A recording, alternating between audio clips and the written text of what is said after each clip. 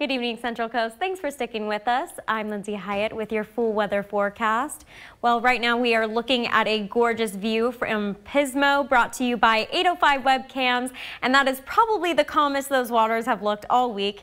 And if you are out there on the beach, or excuse me, were out there a little bit earlier, it was probably pretty chilly because we have had quite low temperatures, seasonably low, in fact, along the Central Coast. It's definitely feeling like winter. Let's take a look at those lows since since midnight. So noticing here that the average temperature is around 40 degrees or so, with the lowest in Paso Robles and Santa Maria at 36 degrees.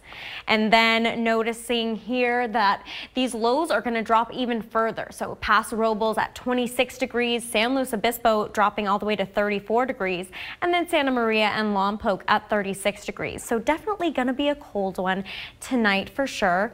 And in fact, we do have a freeze watch that's going to be in effect effect from not tonight, but tomorrow evening into Tuesday morning.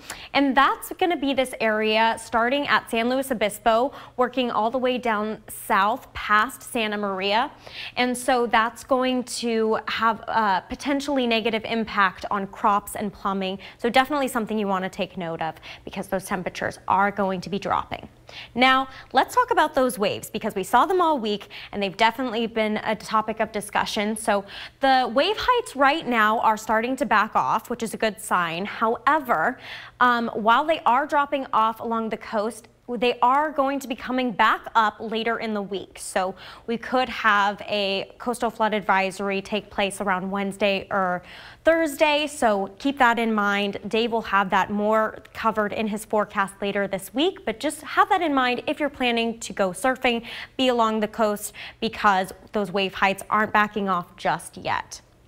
All right, let's take a look at our area forecast. So in Paso Robles, like we said, dropping all the way to 26 tonight, uh, excuse me, on Monday, uh, and 50 with a high 54, Lompoc with a low of 36 and a high of 59. And as we make our way down south in Morro Bay with a low of 39 and a high of 58, Atascadero with a low of 29 and a high of 52.